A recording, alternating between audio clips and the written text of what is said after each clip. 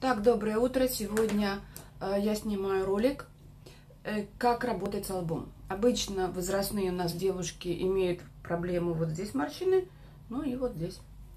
Вот, значит, включили, нажали на кнопочку. Пока начинаем с единички, не надо мощность повышать. Нажимаю на солнышко, начинает работать. Выдавливаю один раз гель. Как начинаю работать? Я в первую очередь, меня смущает вот это вот э, место, где есть морщины. Я никуда не тороплюсь, я делаю круговые движения. Вот видите как? Можно вот так, можно вот так. И я концентрирую свое внимание на вот этой части. Здесь вот эти морщины скорби противные.